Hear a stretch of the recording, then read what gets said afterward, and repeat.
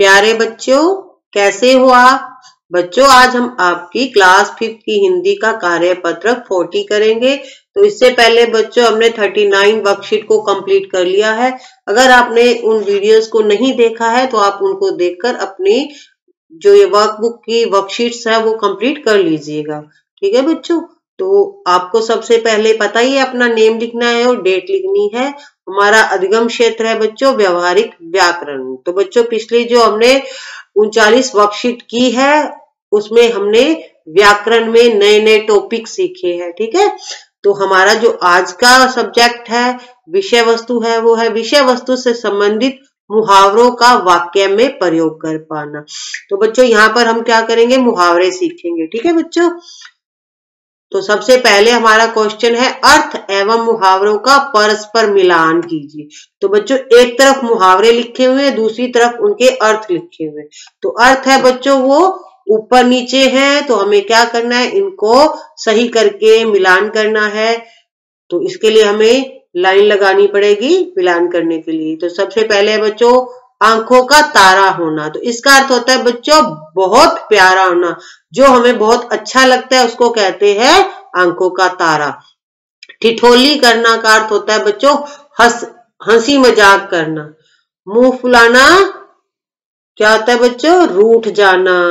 घमंड में चूर होना, बहुत अधिक अभिमान करना। है आग बबूला का अर्थ होता है बच्चों, बहुत गुस्से में आना। और तूती बोलना अपनी बात चलाना। तो इस तरह से आपको मिलान करना है। आप चाहो तो अपनी नोटबुक में मुहावरा है उसका अर्थ बिल्कुल जो सही है वो सामने लिख सकते हो। जैसे आँखों का तारा होना तो उसके सामने आप लिखोगे बहुत प्यारा होना। ठीक है?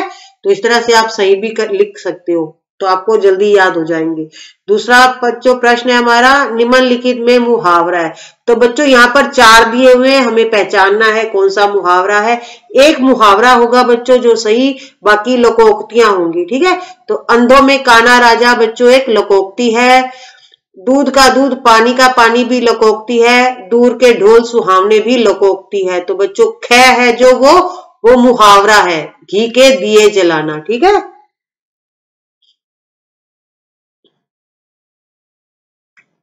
तो अगला प्रश्न है, बच्चों, निम्नलिखित में मुहावरा नहीं है। ऊपर हमने मुहावरा ढूंढा था। नीचे, बच्चों, एक ऐसा होगा जो मुहावरा नहीं है, बाकी मुहावरे होंगे, ठीक है? तो एक लोकोक्ति होगी। तो बच्चों, जो पहला है क, मुँह की खाना, ये लोकोक्ति है, ठीक है? यानी ये मुहावरा नहीं है तो इसका आंसर होगा क। बाकी तीन है जो, लोहा मानना, हवा से बातें करना आम के आम गुठलियों के दाम। तो ये बच्चों, तीन मुहावरे हैं। और जो कह है, मुँह की खाना, वो लोकोक्ति है।